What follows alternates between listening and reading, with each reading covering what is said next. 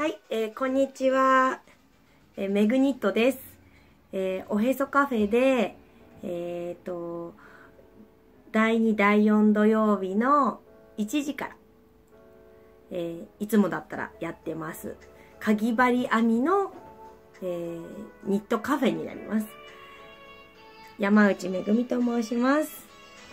えっ、と、今回は、え、まあ、あの、みんなでつなげていこうプロジェクトに参加させていただいて、えー、動画を作らせていただきます。えー、メグニットの自己紹介をまずしたいと思うんですが、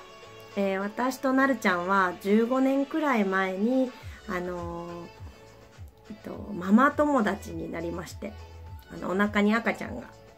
できて、で、そこでのお友達になって、それがきっかけで、今もずっとお友達でいるんですけれども、あのやっぱり自分の今できることであのみんなを元気になりたなできたらなっていうのと自分も元気になれたらなっていう活動をしてあの続けていて、え、年に2回の手作り市にも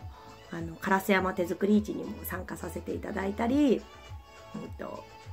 いろいろやってるんですが、えー、私は、うんとその子供が生まれたことをきっかけにあのこういったかぎ針編みの作品を作ることにハマりまして。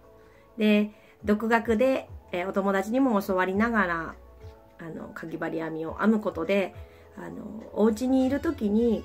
うんと、ちょっとこう、心がモヤモヤしたりとか、そういったことをこう、かぎ針に集中することで発散してきたっていうとこがありまして、うんと、そういったことから今の、あの、この自粛の生活の中でも、えっと、かぎ針を使うことで編むことであの心がリフレッシュできたらなと思って、えっと、毎週土曜日2時からのインスタでライブ配信もしております。えー、あのなるちゃんからそのおへそカフェで編み物のニットカフェを開いてくれないかっていう風なお話をいただいた時にあのもちろんかぎ針でいろんなものが編めて上手になることも大事なんですがそれだけじゃなくてあの編むことでこう人とつながっていく。であの上手にならなくてもいいからその糸を通して人と人とがつながっていけたり元気が出たりとかしたらいいなっていうのがあってあのぜひそこをあのめぐちゃんややってくれないかしらっていう風なお話をいただいてあの私もすごく嬉しくて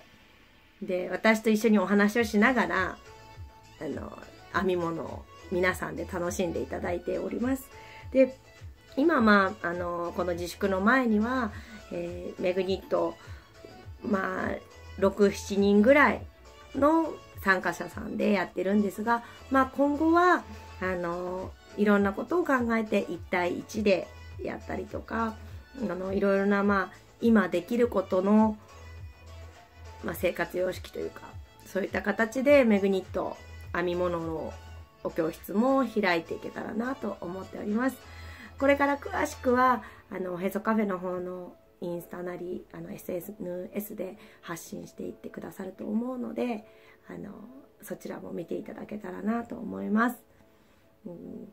今の生活の中であのいろんな思いをされている方ともいると思うんですがみんなが一人一人があのできることであの力を合わせて乗り越えていけたらなとメグニットも思っておりますのでこれからもよろしくお願いいたします。ではでは失礼します。